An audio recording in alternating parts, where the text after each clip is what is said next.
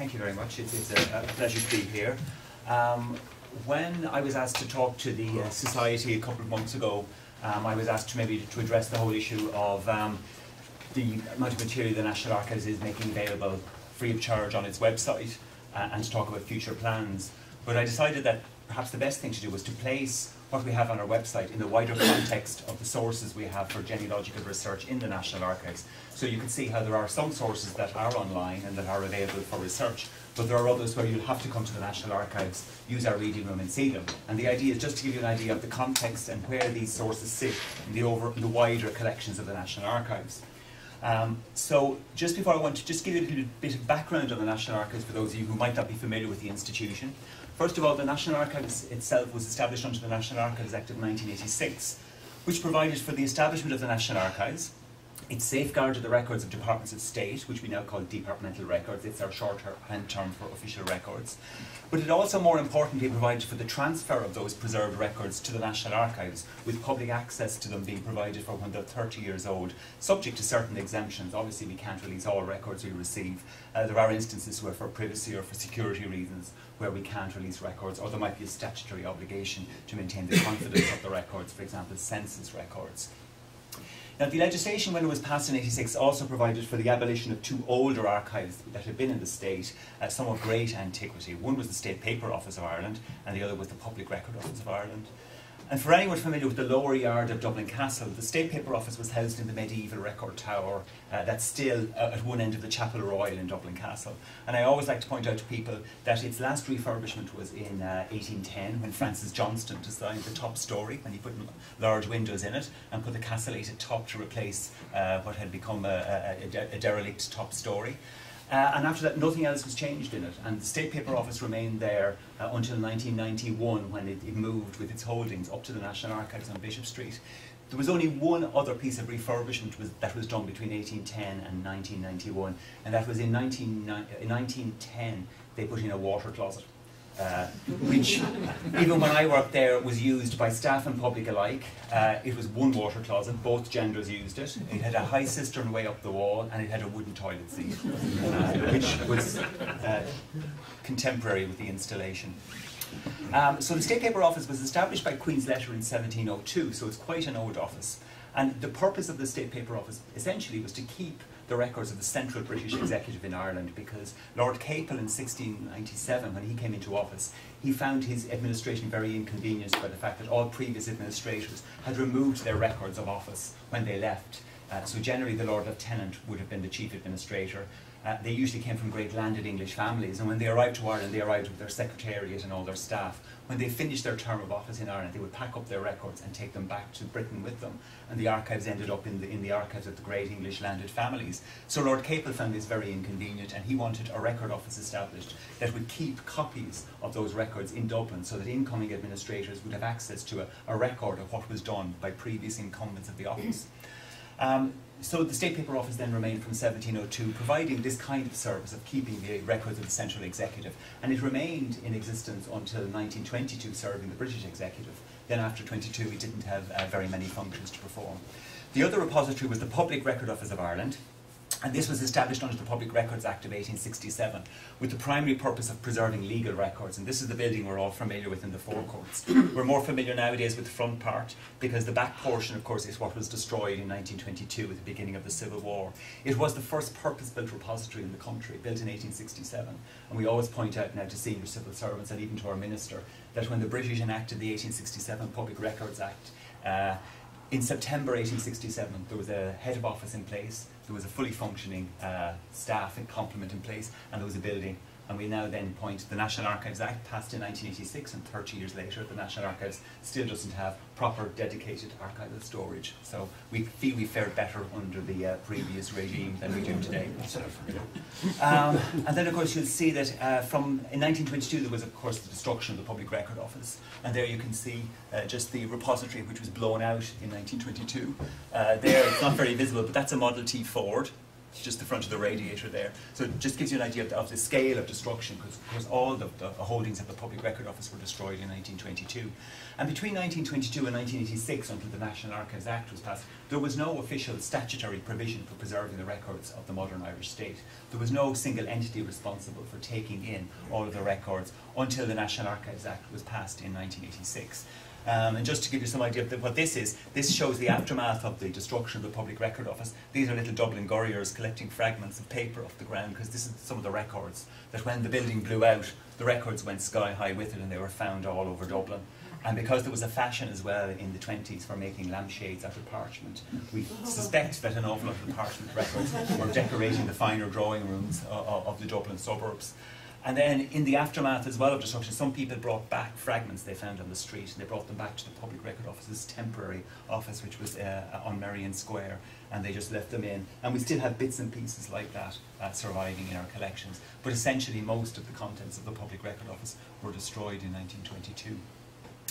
So in terms of what we have in the National Archives, what is the scope of what we have? Well, essentially we have the records of departments of state. So you think of any department, Department of Taoiseach, Foreign Affairs, Industry, Commerce, all of those archives are supposed to come to the National Archives when they're 30 years old and be made available for public inspection.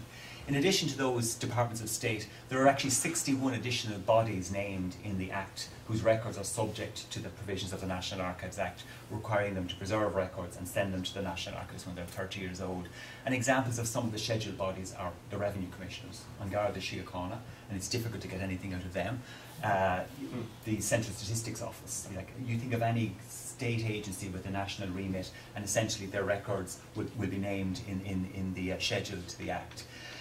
The Public Record Office also obviously has whatever survived out of the old Public Record Office of Ireland and whatever survived from the State Paper Office. Um, so those are now with the National Archives.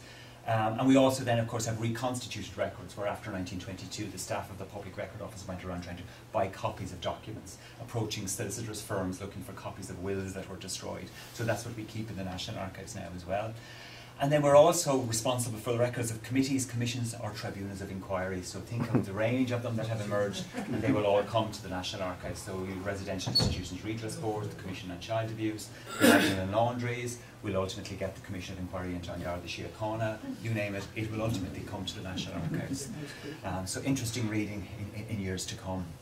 And then we also acquire some private archives. We take in the archives of some individuals, some organisations and institutions where we feel they complement the holdings we have or where the body might have had a national remit and there's nobody responsible for preserving the archives. So to give you an example, St Brendan's Mental Hospital in Grangegorman was a hospital that treated people from not only Dublin but all over the eastern seaboard and often from further afield.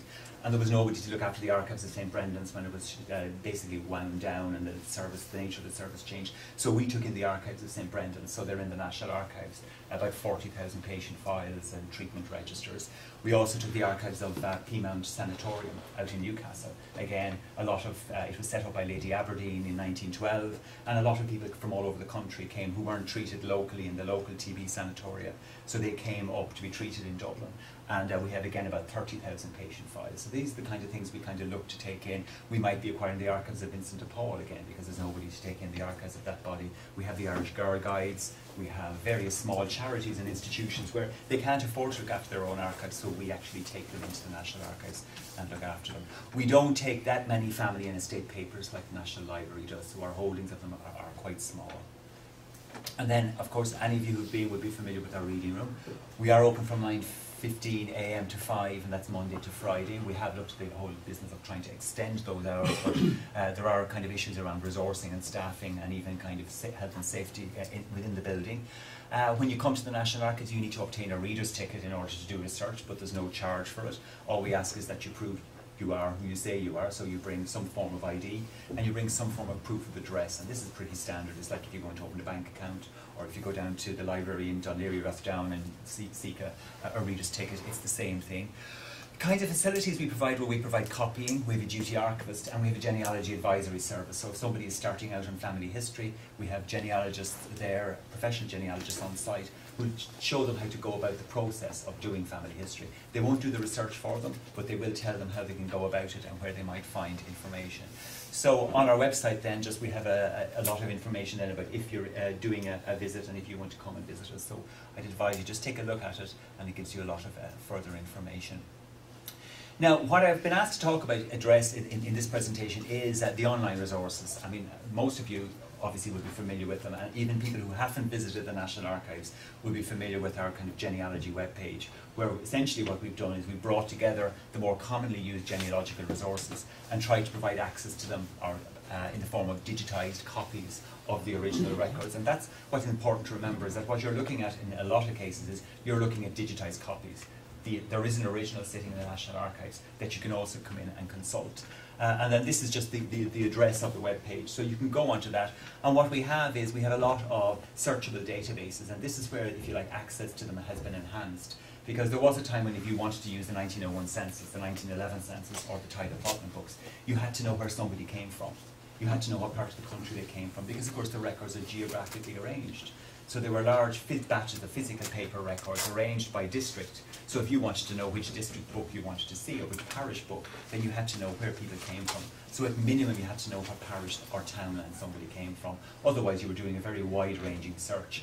What the putting them online and digitizing them has, it has allowed us to create obviously surname indexes to them that allow you to do searches right across the country for particular surnames. Um, and it allows you to kind of access into the records and to see them before uh, you, you, you, come to the National Archives. Um, so what the, our website serves as, if you like, our genealogy website, it's, it's, if you like, it's a mini portal to provide access to a range of micro websites on which digitized records are made available. Um, and we've added six new series in September 26. So we've got basically 11 digitized record series or sets of records up on our website. And the kinds of things then that are available online, I've just kind of listed them all there, and these are just available as links that you can click from, from that web page. We've got 1901, 1911 census and pr surviving pre-1901 census. We've got census search forms. I'm just going to say a little bit more about these and what they are and the nature of them, because I think that's much more important sometimes to understand what it is you're looking at. We've got Tithe Applotment books, we've got Valuation Office archives. We've got the prerogative and diocesan indexes to wills and administrations and some of the will copies, some of the, the will book copies. We've got marriage license bonds. We've got calendars of civil wills. These are ones proven through the, the civil courts.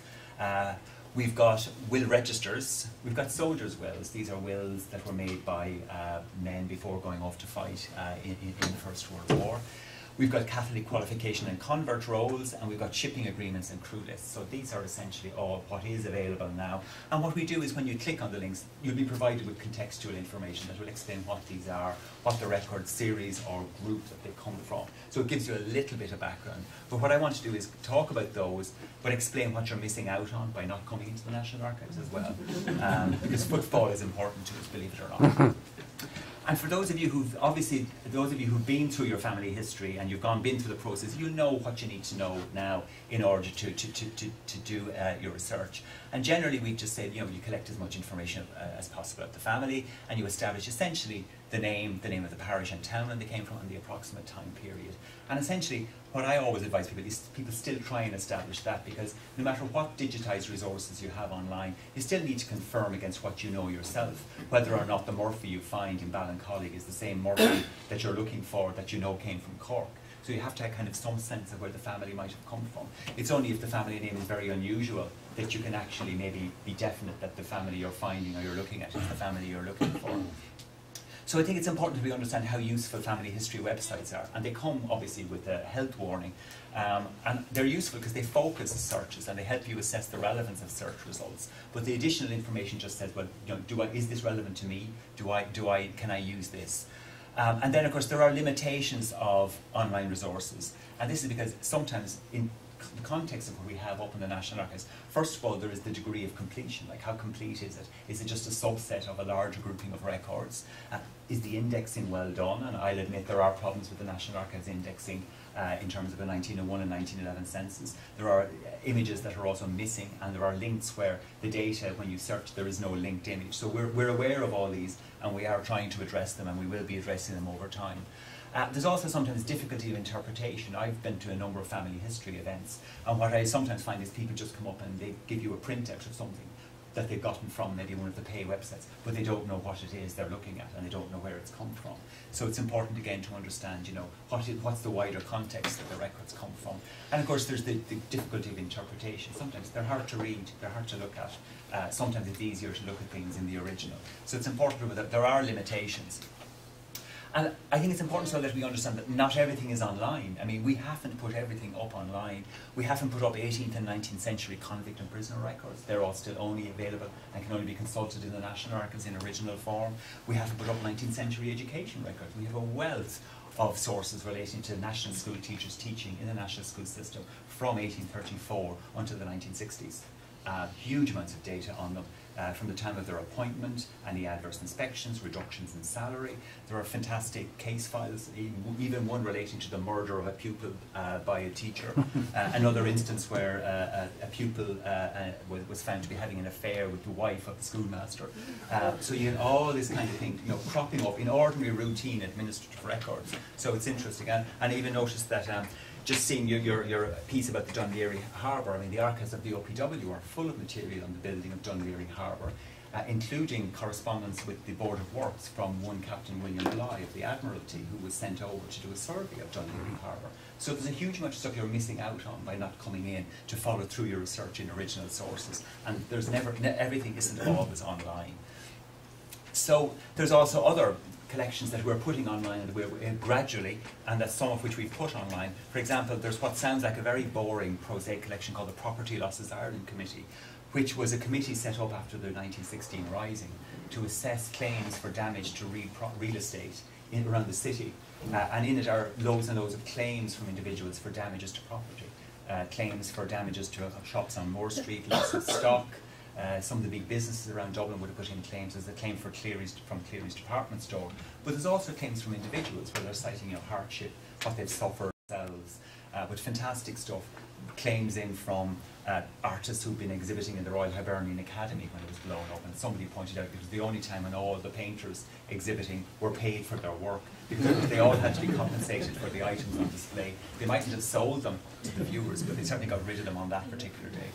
And then there's another collection we have which are called finance compensation files. And these are files relating to the payment of compensation to people for damages to property during the War of Independence and Civil War. So they run from about 1919 up to the 1920s. Huge amount of information on um, just individuals around the country, like theft of bicycles, theft of foodstuffs from shops, uh, loss of cattle, you know, vases being destroyed, constantly bicycles being stolen, cars being commandeered by both sides, and people putting in claims. So it's, well worth a look. So anyone like doing family history, because sometimes a lot of the bigger houses, there'll be detailed inventories of the contents. Because of course a lot of the big houses during the Civil War were burnt out. So you get these lengthy, lengthy inventories, and there's a fantastic file on Woodstock House in Kilkenny, where it was discovered that the inventory of what was dam damaged was actually incorrect and was fraudulent because the family had moved to London and taken a lot of the more valuable paintings and furniture with them, but they put in claims to the finance compensation people for things that were turned up in their house in London afterwards. So it's kind of interesting uh, dimension to, uh, to, to people and what they'll do in order to get a few bob. so first of all, in the context of it, like I, as I said, we've got a lot of census records on, and that's what we're most well known for. But the fact we have so much online for 1901 and 1911 kind of takes attention away from other census records which that aren't online and that are worth having a look at. And of course, it's important to remember that there's no comprehensive, consistent census taking before 1821. I mean, you know, to 1821 was the first state census. So before that, you've got informal census taken. And the first one we have in the National Archives is the Elphin census. And it was commissioned by the Church of Ireland Bishop of Elphin, Edward Synge. And what is recorded in it is only the head of the household with a number of family uh, members and, and nothing more than that. Now the good thing about the uh, census, and people might not be aware, but it's just been published by the Irish Manuscripts Commission, so anyone can go and have a look at it. For years in the National Archives, we did make a very bad photocopy of the original available. We have the original as well. And this essentially was Edward Synge wanted to know how many Catholics and how many Protestants he had, although in the uh, census itself they're referred to as papists. And it includes loads of people, there are even beggars and vagrants to be found, because basically they went around enumerating people within the Diocese of Elphin. Now obviously, because it's Elphin, it'll only cover County Roscommon, portions of Sligo and County Galway. But it's a useful source for anyone with ancestors from that part of the country. And because it's published now, it's possible for people to peruse it uh, and look at it and, and, and see, uh, find an ancestor in it. The other then early census is what's kind of called the religious census, and then this was very similar to the Elphin census. and this was authorised by a resolution of the Irish House of Lords. And what was meant to happen was there were meant to be returns made to the clerk of the House of Lords of the, of the names of Protestant and Roman Catholic heads of households in each parish. Uh, and these were meant to be sent in to the clerk by a particular date. And what we found though is that while some of the um, the, uh, the, the, the, clergymen who were, had to do this were very, very, very conscientious, and they went and they went through each parish that they had, and they named all the papists and all the all, all, the all the Protestants, and they named the head of each household, and it was kind of well done. There were some who were very lazy and who just sat down and said Protestants in the county, uh, of the parish, and they would just say, these are Protestants in the county. Uh, they give 33, and they basically just give statistical abstract. So it's obviously they were coming up against the deadline. Uh, they hadn't got the work done. They basically threw a head count, probably maybe from parish registers or something, and put a note together and sent it into the clerk of the, uh, the House of Lords, and that passed. So they survive in the National Archives and in other repositories in, in, in the National Library uh, either in original or transcript, because these would have been in the Public Record Office in 1922, and a lot of them would have been destroyed. So there isn't a complete set of them, but we do have a listing of them, and these aren't online, and they've never been put online, and that's because they've never been microfilmed or digitized. So it is, and because the, the, the archives are in different repositories, they've never been drawn together. But it's a, it's a resource that's worth uh, looking at. But what we have done is we have a list online of the different parishes that survive, and where you can actually go to find uh, which parish you're looking for. Um, and then there are other things that, if you like, that are called censuses as well that survive for different parts of the country, and they're just worth looking at uh, if anyone is interested. Because again, if you're just looking for names of people, you know, trying to uh, find them as occupants on, on a particular farm, is uh, there's a return of livestock for County Antrim with the owners of the livestock uh, which is just held as part of the archives of the Chief Secretary's Office, which would have been the British administrator, Chief Administrator in Dublin Castle until 1922, uh, and there's the reference to it.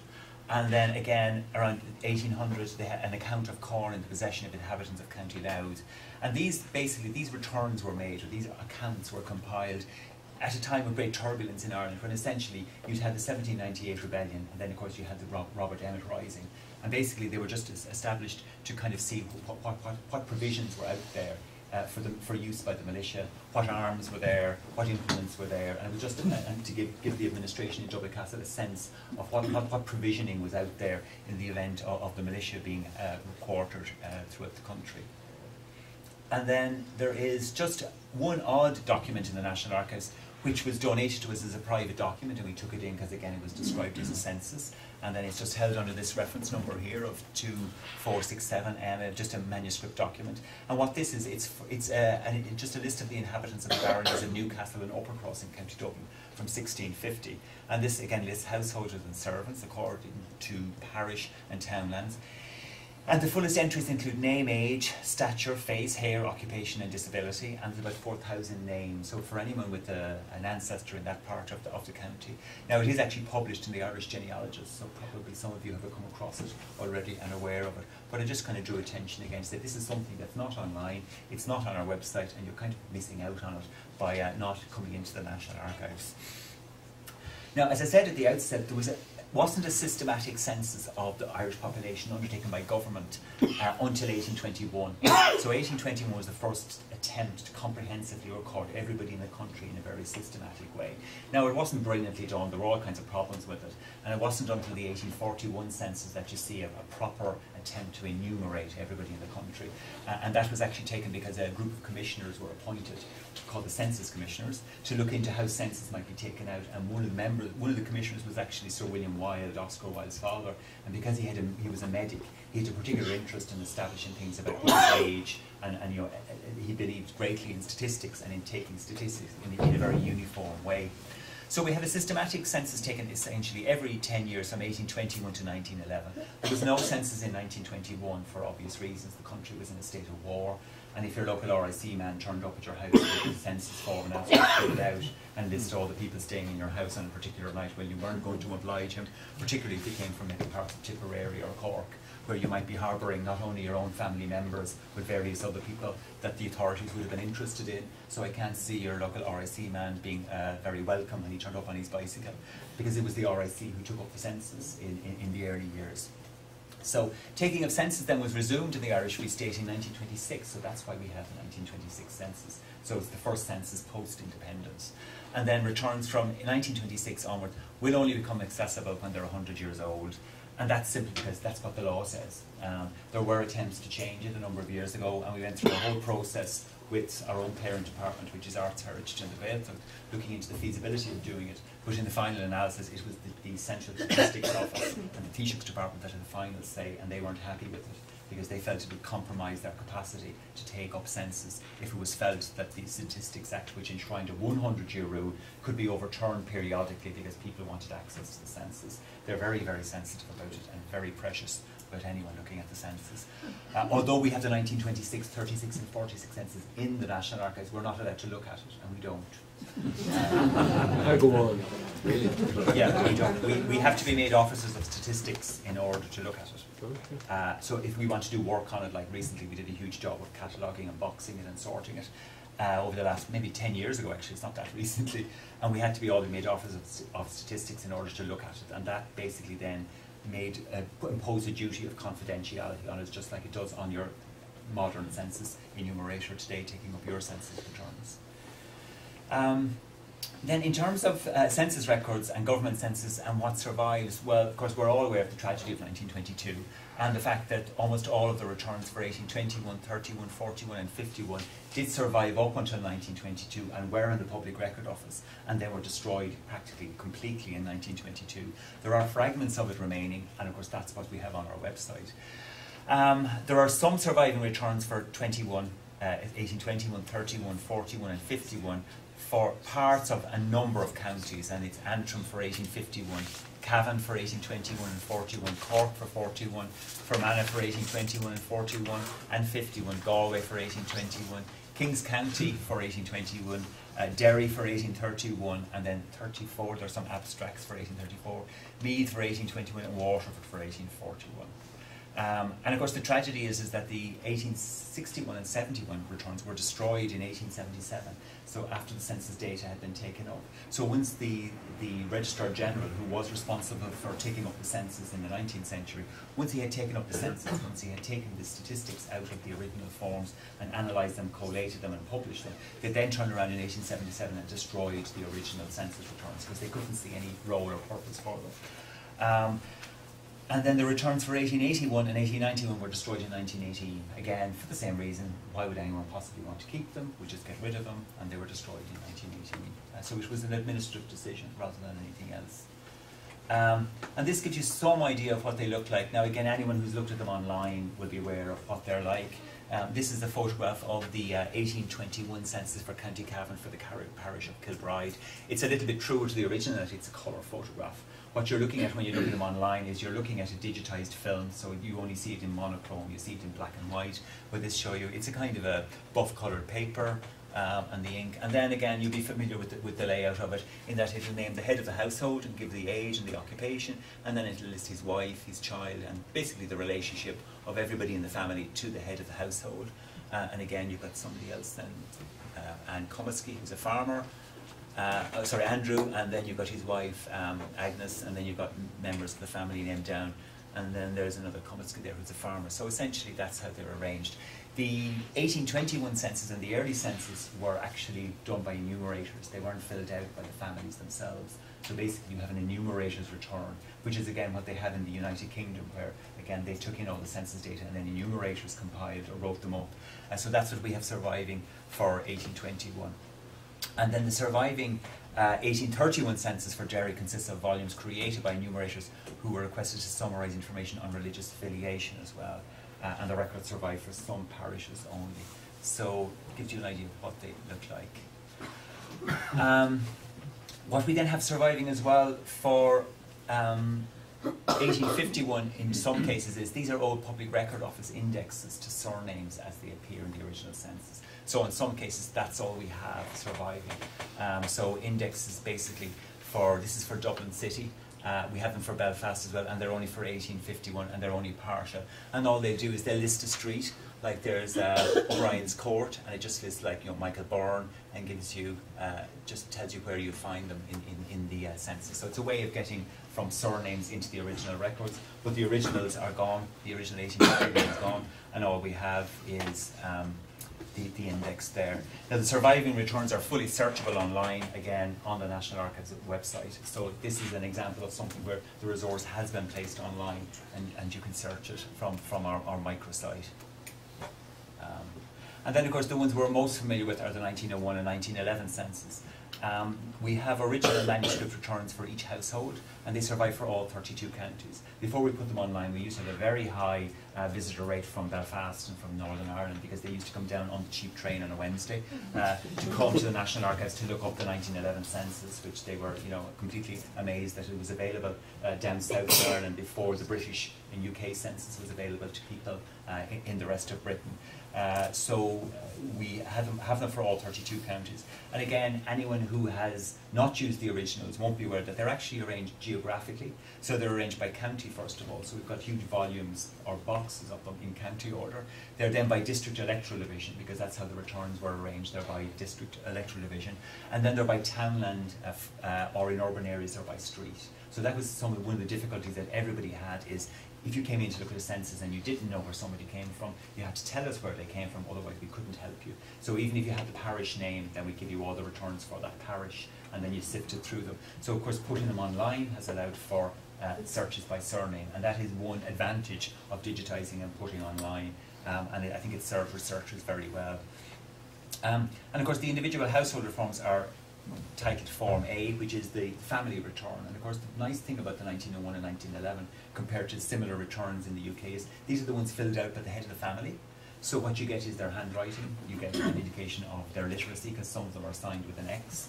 Uh, and you get fantastic examples of different, you know, forms of hand, uh, different standards. Uh, I like the ones as well where there are some people who wouldn't refuse to state their religion on the census, and a couple of people who put themselves in as agnostic or atheist, and the enumerators struck it out and said refuse to state religion because, of course, you had to belong to some church. They weren't happy for you to say you didn't have a religion.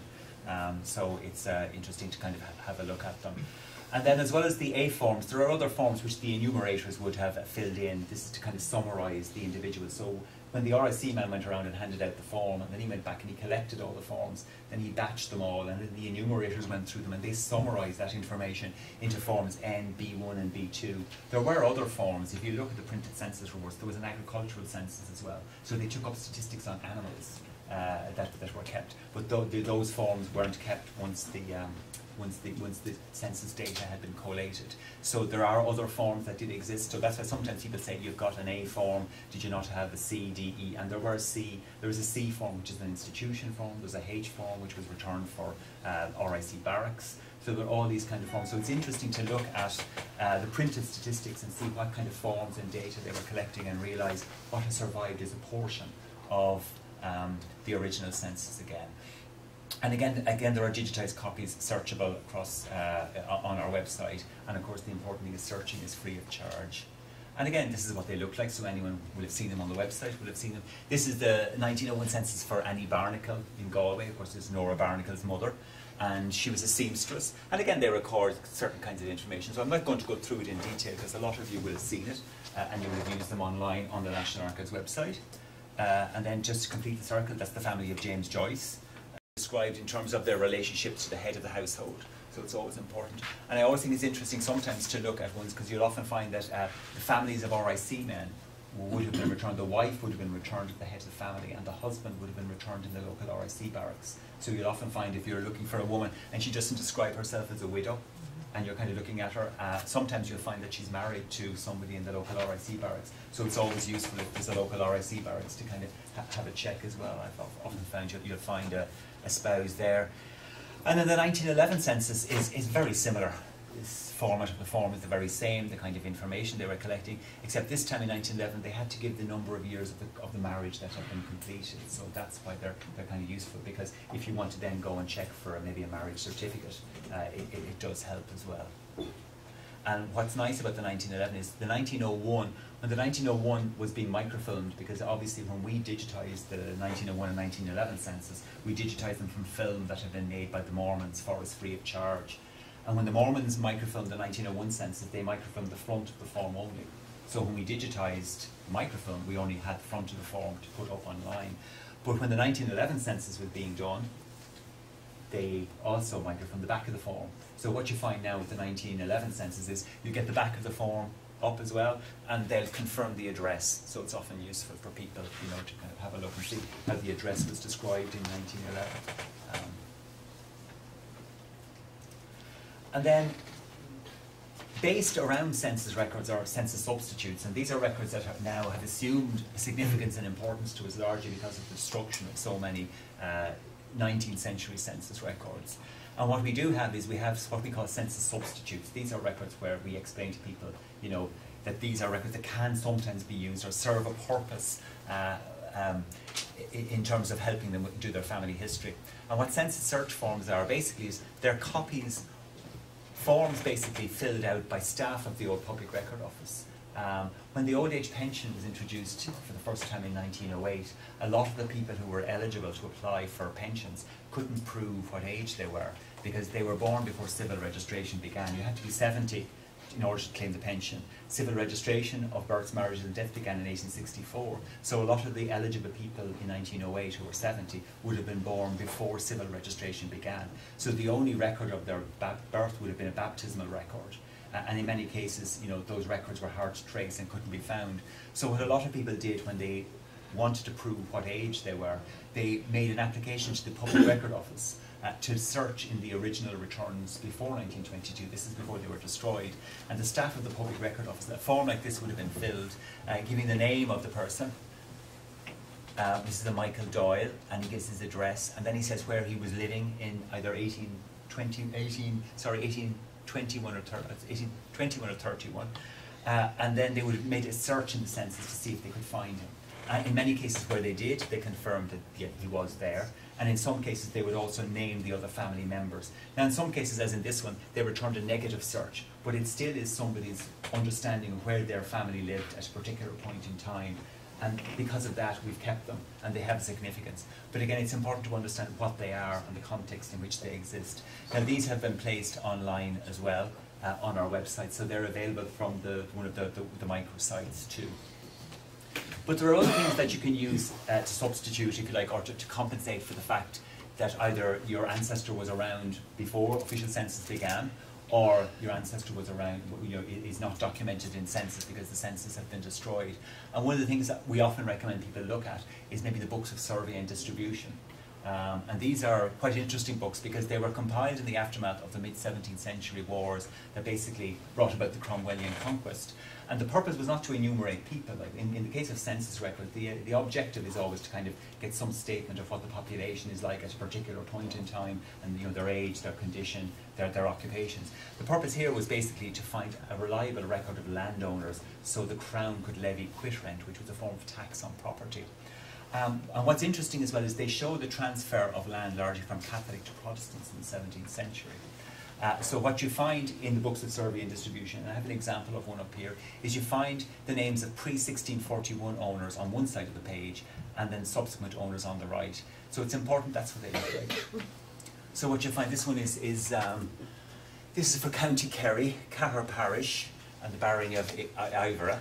And what they do is they list down one side uh, basically the, the land and the owners, and then to whom they were subsequently granted. Now, unfortunately, because the quality of the image, th these are actually quite large books and it's often difficult to condense the image down to get it on the page. Um, but they're very, they're, they're actually quite good.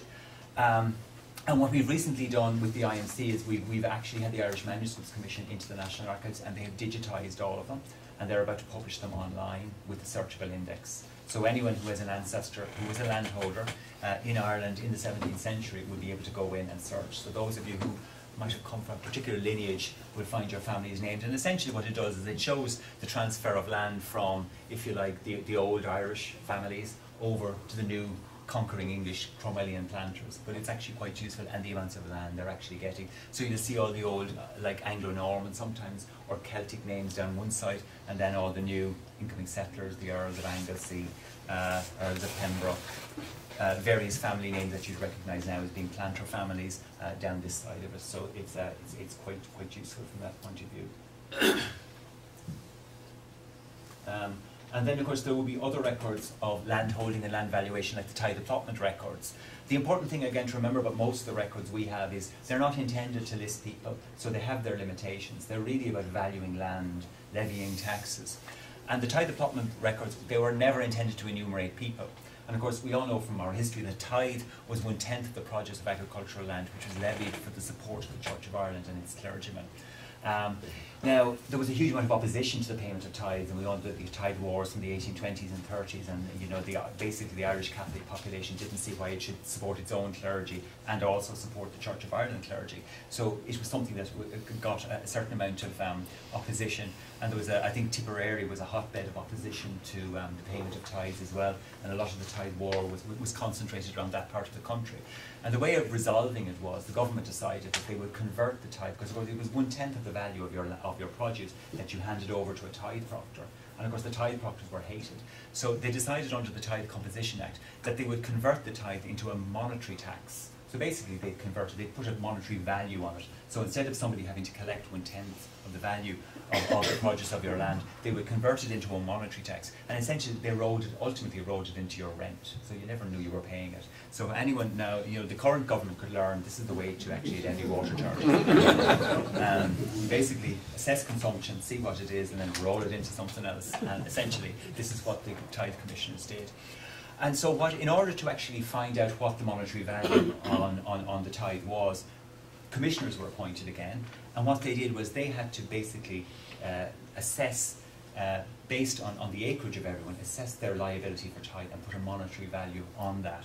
And that's what the books were done. They were compiled at various dates between 1823 and 1837, and they were basically assessing the amount payable by occupiers of agricultural holdings. So that's essentially what they were.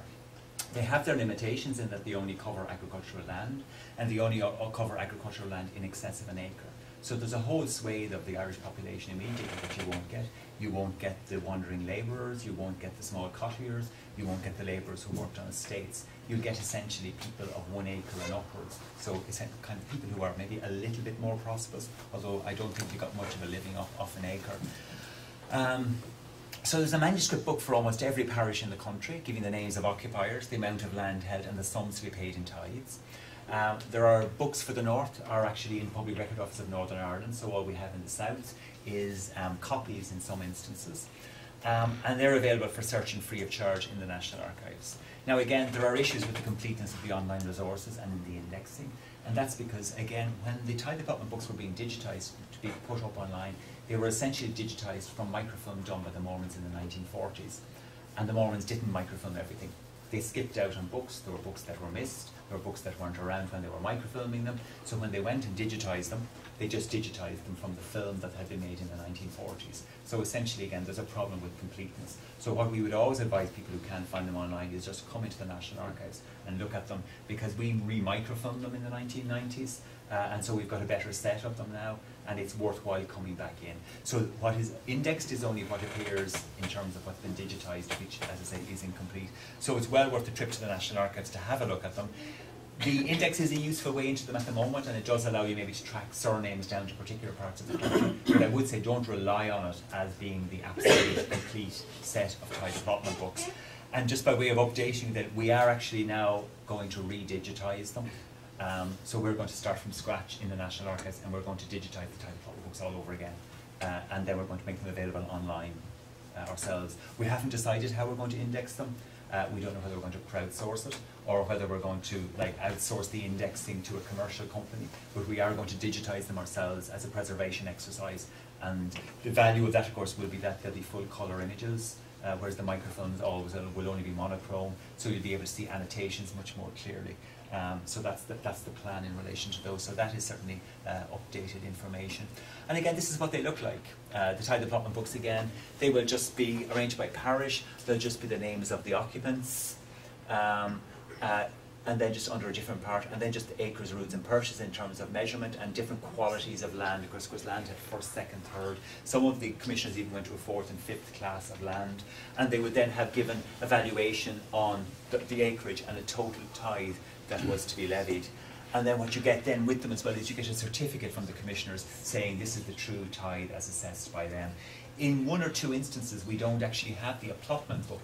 We only have the certificate surviving, and we assume that the original applotment book was lost um, because they were sent into the land. They re- resided with the land commission for a long time, I think until the 1920s, and weren't passed over to the to the old public record office until after that. So what has happened to one or two of them are gone. So it, it is disappointing, but there's a pretty good coverage of them. So of course, therefore, what's online is incomplete because not everything survived in terms of original books, and not everything was microfilmed. So it's important to bear in mind the, the limitations on them.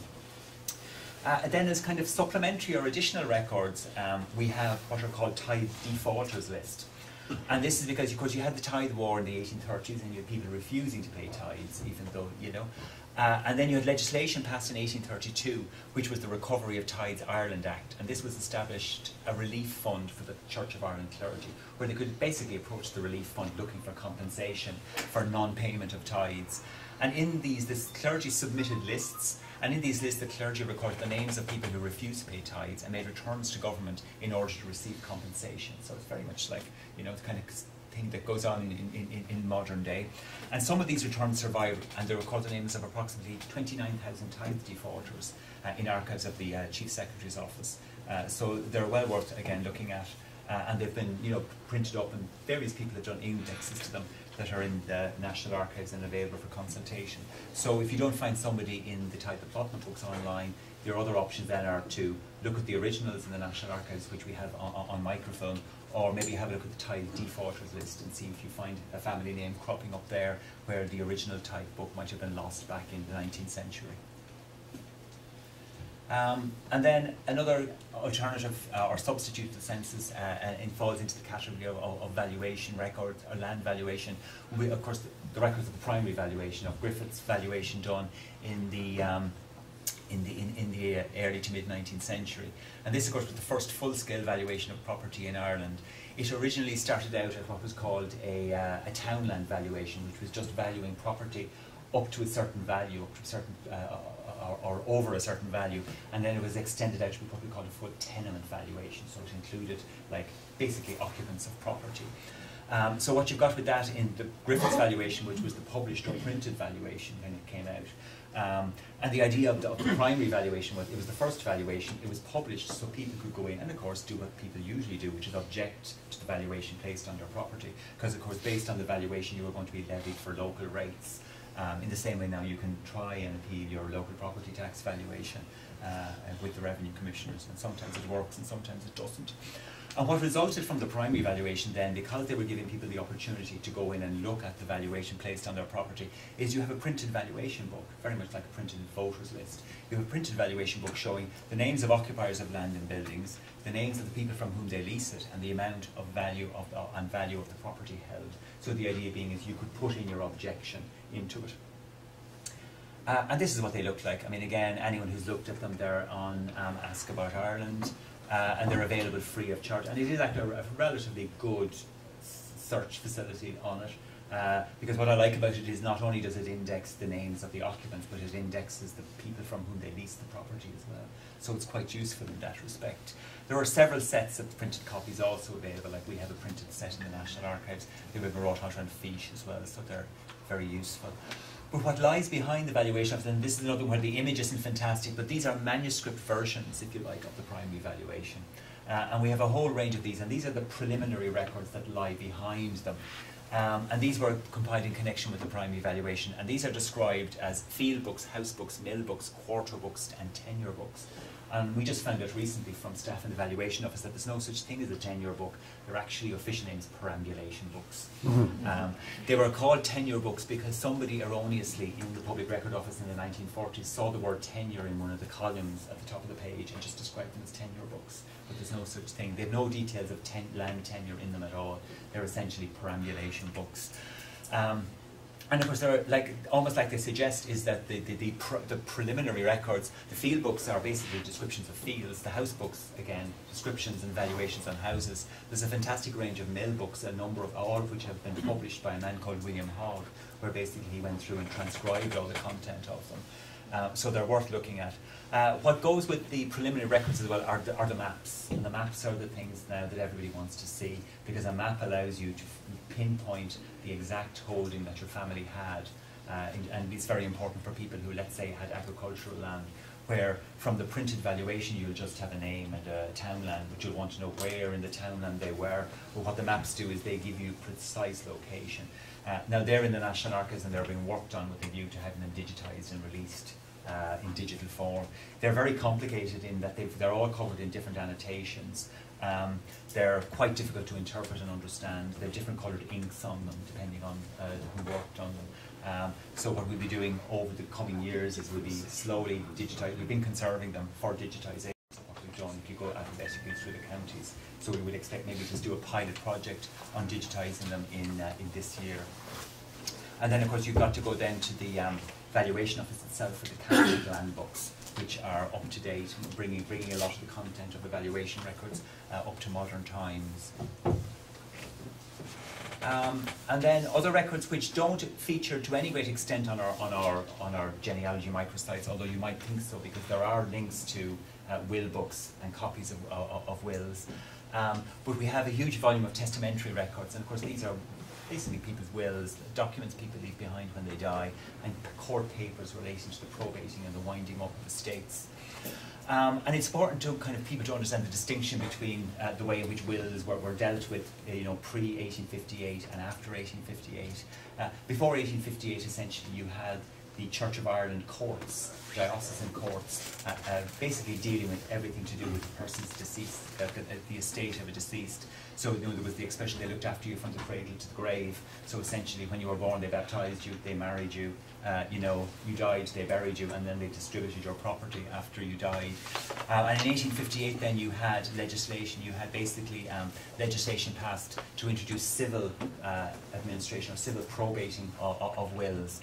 Um, so there is that distinction. So it's important, first of all, to understand that there's a difference between before, pre and, and post uh, 1858 in terms of um, um, the, the records and, and who was responsible for, for dealing with testamentary matters. And then, of course, under the 1867 Public Records Act, when that was set up to establish the, the, the Public Record Office in the Four Courts, all those records then had to become transferable to the Public Record Office uh, of Ireland when 20 years old. Now, the destruction of the Public Record Office in 1922 resulted in the loss of a huge number of testamentary records. But I'll deal in detail with you know uh, later on what, what's, there and what survives.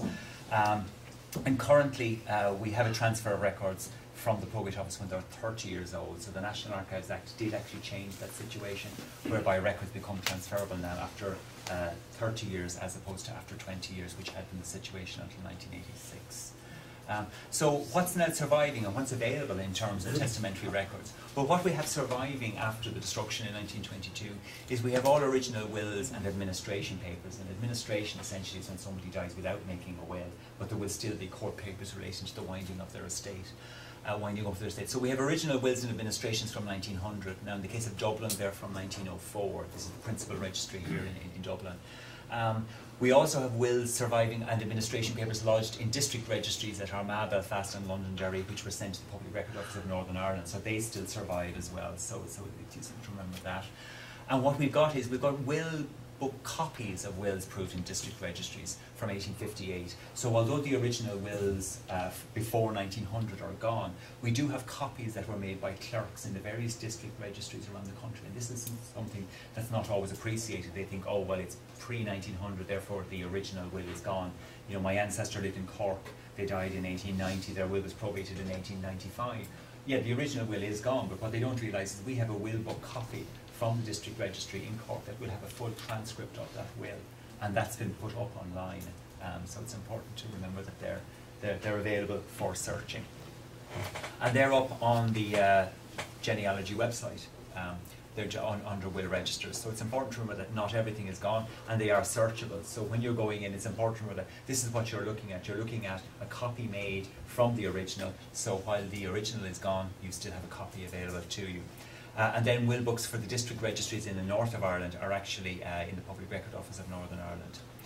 Um, and then we also have online uh, indexes to prerogative and diocesan wills and administrations. These are the pre 1858 wills. Most of those were actually destroyed in 1922. Most wills proven through the diocesan and prerogative records uh, were actually destroyed. Uh, so what we have is again one or two fragments of, of will books. Um, and they're all online and they're all searchable. So anyone who goes onto our microsite for testamentary records will be able to access those. Um, and then in terms of originals, well, this is what an original will looks like. I mean, it can vary in format from being a very nice typescript document to being a handwritten one, uh, where again the deceased, you know, usually if, you know knows his dying is of sound mind and body, and you know the older ones have huge preambles where they're mindful of the vicissitudes of life and the fact that their makers may call them at any moment and they're sound in mind but weak in body and the whole rigmarole goes on and on and on. And then eventually they basically leave everything to their wife or something like that you know. You had to read three pages to get to the actual meat of it. Uh, and they're fantastic as a source because they give sometimes give evidence of family disputes going on in a family uh, there'll be instances where there'll be all kinds of bequests being made to people on condition they don't marry a Catholic or don't marry a Protestant or marry somebody. Uh, there'll be ones where they itemize everything that they own and they're leaving it, you know, one damask tablecloth, one brooch, one bra- pair of brass candlesticks, and they'll be leaving it to various people. So it's, they're interesting uh, uh, as an example of. I've even come across one instance of a will where somebody left his daughter-in-law money to buy herself a glass eye. So um, obviously he didn't like the way she looked at him. Um,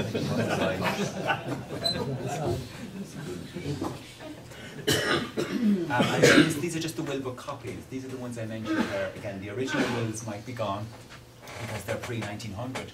But this basically is a full tra- transcript of a will, which is a faithful recording, and they're all handwritten. And every so everybody, everybody, anyone who has an ancestor who, who was down the country, you know, lived in, the, in a rural area, and whose wills might have been proved in Cork, Tuam, uh, Kilkenny, Waterford, any of those district registries where wills would have been probated, you'll find there's a complete run of will books from 1858 up to 1900. So essentially, you'll find that there's a complete run of wills for Waterford deceased people from 1858 right up to current times, without without being uh, um, any loss of, of information. So, uh, and they're available to search uh, on from our, our, our genealogy website. So they're very useful.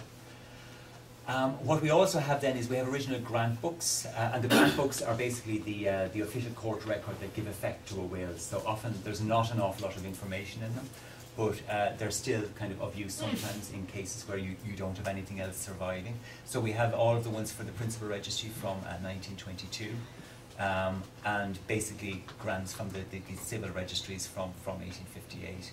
Uh, and again, you have to approach uh, PRONI for some of them, uh, but also we have some northern ones as well where they weren't sent north after 1922. So it's useful to have a look on our website and, and, and, see what's actually there. And we also have some grant books for the diocesan courts and the prerogative courts, but basically the Church of Ireland courts. They survive for these years uh, in the form of, of will books and grant books. So they're, they're useful to, to, to have a look at. And again, they are searchable from our website, so you can get access them uh, through, to that means. And again, this is just an example of what some of the, uh, the other related records are. This essentially is a grant of probate, which is just a very formal document with a seal on it, giving effect to a will. But without it, a will is useless. And generally speaking, when we deal with legal searchers, they sometimes only want the grant of probate. They don't want the will. They just want to prove that a will was probated.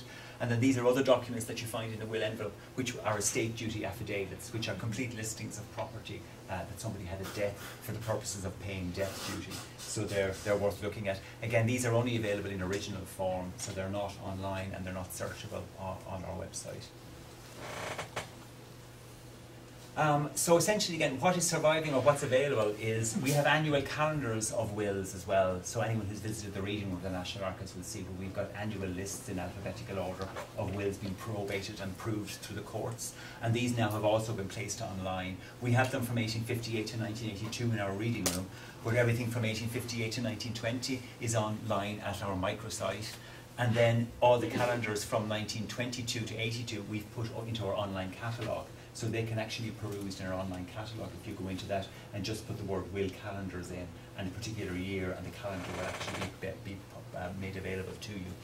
Um, from 1983 onwards then, wills that come to us, they're actually just directly searchable under the name of the deceased person. So you can just put the deceased person's name into our catalogue and you'll actually get references to them. The calendars for Northern Ireland are online uh, at the Public Record Office of, of, uh, of, of Northern Ireland's website. And then we also have soldiers' wills. As I said, these are wills that were made by um, Irish men serving in the British Army uh, in the First World War. And as part of their pack, if you like, being issued with as a soldier, they were issued with a form on which they would make a will.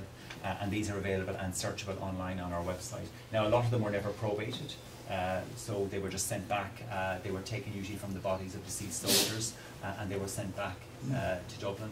A lot of them were handed in by the soldiers themselves before they go into battle. So they would basically hand in their will, uh, and in many cases they survived the war and came back. So the wills would have been probated. So we've no evidence that everybody referred to in the soldiers' wills actually died in battle, but they're useful wills to have. And then, of course, what survives as well is, and people will have used them, is Betham's and other genealogical abstracts. This is where there were professional genealogists working in the, in the 19th century who had access to original records before their destruction. And we would have, after 1922, after the loss of all the uh, archives in the Public Record Office, uh, they would have made their copies and their notes would have become much more valuable, uh, and therefore we acquired them. So we have Sir William Betham's uh, abstracts. Uh, we have also records of the commissioners of charitable donations and bequests because generally when people would make a charitable donation in their will, a copy of the will went to the commissioners of charitable donations and bequests. And we've taken those wills in as well. So they're useful wills to look at as well. So many of the famous charities that were set up uh, by request, we have a copy of the will in the archives of those commissioners. And then we have some inland revenue records uh, with solicitors' copies of wills. So just an idea. And again, just by way of giving you context, we don't in the National Archives have births, marriages and deaths at all. Uh, they're from 1864, they're obviously in the Registrar General's office. And before that, you're talking really about looking at uh, church records for records of baptisms, uh, marriages, and burials. Now, Roman Catholic registers obviously are at the National Library, as we all know, and we have some Church of Ireland registers of baptisms, marriages, and burials in the National Archives, and more are with the RCB Library. So you really have to check their website uh, if you want to see what's available uh, uh, and what's um, what, what, what, can be researched because a number of them would have been in the old Public Record Office in 1922. A number of Church of Ireland registers and would have been destroyed. So the um, Church of Ireland has a very good website now where you can actually go in and see what's available, see where it is, uh, and it's worth uh, uh, taking a look at. There are plans by the Church of Ireland now, they're just about to digitise all of their Church of Ireland parish registers. Um, uh, I think it's at a really early stage and nobody really knows how it's going to be done or who's going to do it. Uh, the Church of Ireland is looking to us uh, to do it for them, and we're looking at them saying they're your records. Um, so it'll be interesting to see how that battle actually uh, mm. Takes shape over the coming years. Um, so it's important to remember. And also, uh, people think that everything of the Church of Ireland was destroyed in 1922, but a third of what was in the Public Record Office actually survives. And it's also important to remember that not every Church of Ireland parish register was in the Public Record Office in 1922 in the first instance. Clergymen, if they could provide a place of custody locally for their records, were allowed to keep them. So a lot of them still had the records out in the churches in 1922, uh, so they weren't all destroyed. And then obviously if you're going to other congregations, uh, you'll have to approach them directly. For example, the Jewish community, the Methodists, the Presbyterians. So they all have their own peculiar arrangements uh, in relation to what records they, they, they um, keep and how they keep them. Um, and then just things people don't realise we have in the National Archives, we have records of particular occupational groups. We have microfilm copies of RIC service registers. We have service registers of members of the Dublin Metropolitan Police, so anyone who had an ancestor in the police force can come to the National Archives and have a look at those. We have a huge collection of records of the Commissioners for National Education, um, and I mentioned those earlier on. We have salary books, which are the more frequently used things, which basically run from 1834 up to the 1960s, large ledgers in which arranged by school, in which you get details of teacher service and salaries paid and the increments and what they were pensioned off on. we have some records relating to um, prison staff as well. Um, we have um, basically letters of application for posts in the prison service from 1877 onwards, and then from 1922 there will be the personnel records of staff members uh, who served under the Department of Justice. Now those unfortunately are closed by the Department of Justice. Um, and then we have a lot of prison administration correspondence of the Government Prisons Office um, and the General Prisons Board. So anybody who had an ancestor serving in the 19th century prison service are likely to find references to them by going through the correspondence registers. We have a huge amount of material on resident magistrates. So if you had an ancestor who was a resident magistrate, there's a huge amount of correspondence in the Chief Secretary's office where they wrote in about everything. From the time of their appointment, they were documented. Every time they took a day off, they had to write in looking for a day off and telling the Chief Secretary when they were going, where they were going, which assizes they were going to. They wrote in about their salaries. So it's a huge array of stuff on resident magistrates in the archives of the Chief Secretary's office. Uh, and then we have some records of employee representative bodies, such as trade unions. So just by way of kind of bringing you a flavour of what's there, I'm just going to breeze through, hopefully, records relating to one particular category. If you're looking up to have an ancestor who was a prisoner, who fell foul of the law, we have a wealth of information in the National Archives about them, uh, from photographs of them to entries in prison registers. Um, and what we have is, because so many court records were destroyed, these, of course, assume a much greater significance again, because in 1922, uh, when the Four Courts were destroyed, not only was the holdings of the Public Record Office destroyed, but obviously records sitting in court offices around the Four Courts were also destroyed as well. And a lot of records were destroyed throughout the country during the Civil War when they burned courthouses. So what we have as an alternative then is we have the records of people following their conviction. Uh, and these are records relating to their being administered in prison. So the records of the Court of Assize were destroyed in the former Public Record Office the courts of quarter session were also destroyed in the Public Record Office in 1922. So generally, if you're looking for any accounts of trials or criminal convictions, you're really relying on newspaper reports, and that's all you tend to get nowadays. Um, but what we have in the National Archives is we have prison registers and we have prison photographs. So this is post-conviction.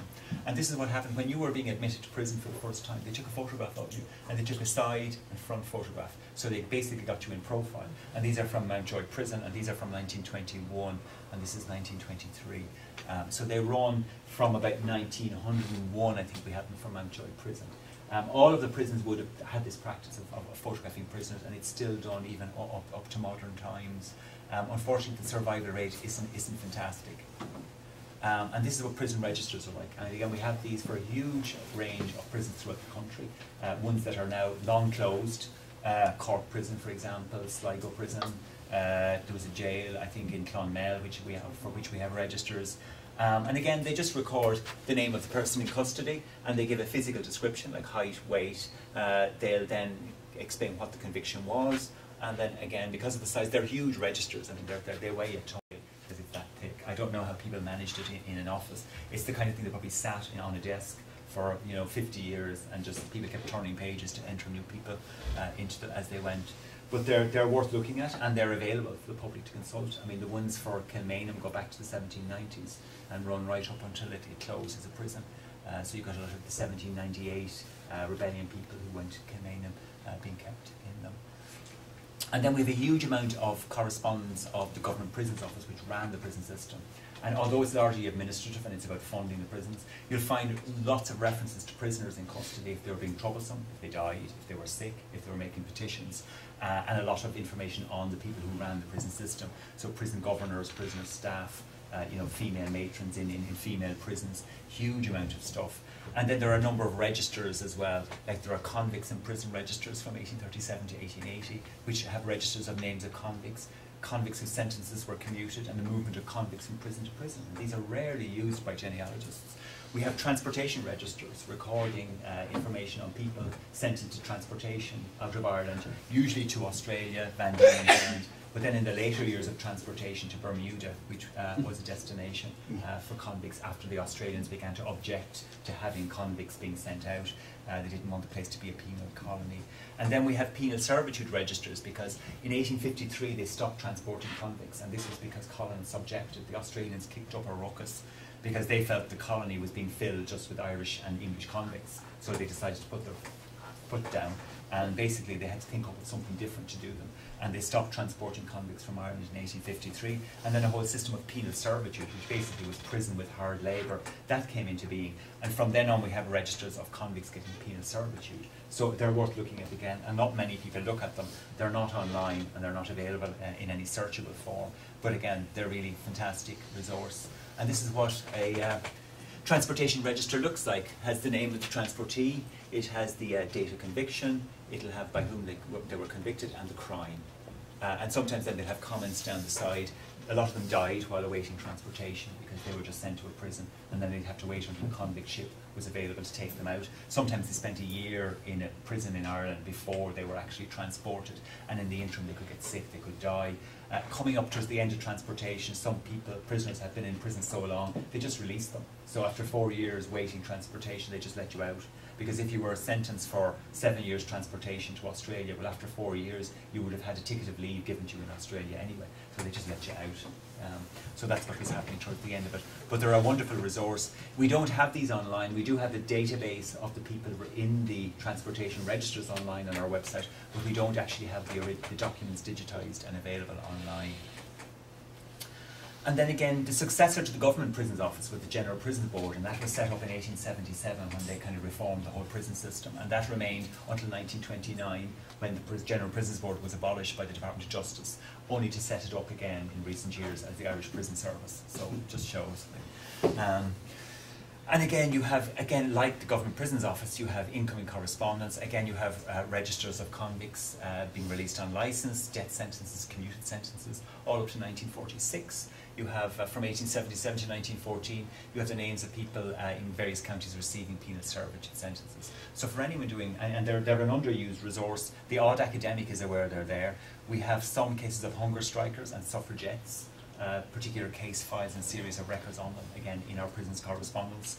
Uh, and then we have the, some penal files, and the penal files are actually quite interesting because that's what they look like. And again, there'll be a case file on each convict. And what they did was they photographed you on entry into prison and on release. So again, you get some idea of what a prison a term spent in an Irish prison would do for you. Um, and you find some people go in looking quite youthful and with great bloom, and then they come out looking haggard and old after two years. Um, and they have a lot of medical information on the convict. They'll have every letter the convict ever wrote out, every letter he ever received. Uh, they graded you while you were in prison and you progressed through different classes of convict. So you might enter as a Class C prisoner, and there were more. The, better behaved you were, the more promotion you got through the prison classification system, the more privileges you had, the more books you were allowed access to, the more hours of exercise you were allowed. So it was a system designed to improve you from the time you actually arrived in. Uh, and then just what we have is then just some more photographs. Um, again, this is the early convict photographs. Uh, and again, at that point, they were getting just to show your hands because your hands were seen to be uh, something that uh, gave information on you. And then again, we have a whole range of petitions on individual prisoners in the Chief Secretary's archives. And these will be from their convict department. We've got prisoners' petitions from 1778, which basically are petitions from family members or from prisoners themselves on behalf of a prisoner seeking either clemency or release of the prisoner um, or to have a sentence commuted. We have convict reference files, and these run up to 1922 from 1836. And we've got free settlers papers. These relate mostly to transportation cases where the wives or children of a convict were allowed to go out to join them in the colony. So once a convict had been sent out and had gotten his ticket of leave, he was entitled to have a family member come out and join him at the expense of government. Now, in some cases, by the time the wife went out, they might have found he had made alternative domestic arrangements. Uh, there were some wives who refused to join their husbands on ground. One wife said he had covered her and her family in disgrace, and there was nothing could induce her to travel to the colonies spend the rest of her life with them. Um, so you get a great slice of human life. Uh, and again, we have an index to transportation cases, just a searchable database, and this gives you access to whether or not we have a document on them, but doesn't give you the actual document itself. And this just gives you some idea of a petition. It's just a standard letter, um, just written on, on, on ordinary paper by somebody. Um, again, another one there. Um, other ones. And what they'll do is they'll set out the circumstances surrounding the conviction of the individual. So in some cases you'll find that the person might have deliberately committed a crime in the hope of being transported, but instead of getting a transportation sentence, they got a custodial sentence in Ireland. And the mm-hmm. petition would just be saying things like, you know, I really only committed the crime because my mother had been transported and I wanted to join her. And in some instances they allow people like that to go out free of charge as free settlers to join the family member in, in Australia. Uh, and then sometimes if petitions were successful, um, there would be, the, the, you know, obviously whatever they wanted was, was agreed to. But in some cases there was just a very stark uh, statement saying the law must take its course. So whatever uh, sentence was handed down when it went into the chief secretary to make a decision on it in Dublin Castle and the Lord Lieutenant, they would just allow the original sentence to stand and um, the petition wouldn't have been successful. Um, and then we have a huge collection of material just on Fenians, so anyone who had an ancestor who was a Fenian. The Fenians were one of the very first examples of uh, the administration using photography because when you had a Fenian, you kind of tended, a bit like a leprechaun, you kind of tried to capture it. Um, and this was because Fenians would travel around under aliases. Uh, a lot of them were itinerant labourers and they would travel around the country. Uh, so what you'd and they'd use a different name each time. And often the written description of somebody who had brown hair, five foot ten, blue eyes and a round face covered a whole multitude of people. So in the first people they started to photograph in Ireland uh, when they had them in custody were the Fenians and then they broadened it out to habitual criminals as they call them um, and that was the kind of use of photography. And then we've got some very early correspondence from the 1790s, which would just again give you information on breaches of law and order. So if you have an ancestor who committed a crime, you can often then look in the state of the country papers to see if there's a kind of a police report about them. And these were continued then as outrage reports from the 1835 onwards, where you could basically look and see if there's a police or magistrate's report on the activities of a convict ancestor. So they're, uh, they're worth looking. So future plans for publication, well, as I said, our online resources, they're a fragment of our existing holdings, uh, and much of these, the originals are in paper format. So you can always come to the National Archives if you have problems with the uh, uh, digital resources. And like while many existing resources document the populace comprehensively, these ones have been placed online. So things like census, the, the easy fix, if you like, has been done. A lot of the more arcane, if you like, and difficult to use ones, you can't really put them online. You have to use them in original form, and you have to come into the National Archives to look at them. But there are some collections that remain to be tapped that are kind of comprehensive and wide-ranging, and one obviously is the 1926 census. So we are now going to have to look and consider, well, how are we going to treat the 1926 census? It's unlikely to be released in its original, so we're going to be looking at the idea of digitizing it and putting it up online.